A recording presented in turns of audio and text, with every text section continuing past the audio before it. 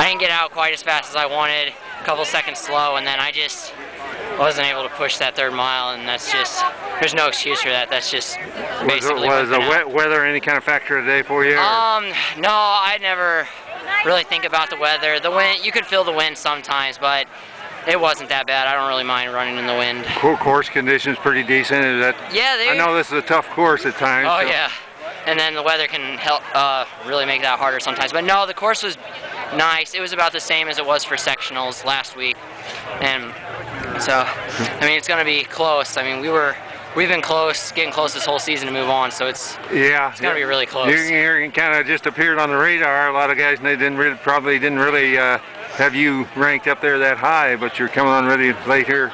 Yeah, and the good thing is we'll have our top five returning next year. So if we can't make it this year, we got right. we're gonna be good next year. Yeah, what, do, what do you think your chances are at semi-state next week? Uh, As an individual, or if we advance as a well, team. e- either one, yeah. Um, as an individual, I only missed out by five seconds last year on advancing to state. So, and I've improved by that much. So I'm pretty confident that I'll be able to make it to state. And as a, if we can make it out as a team, honestly, it won't be that much harder because there are a lot of the good teams in the semi-state in this regional. Yep.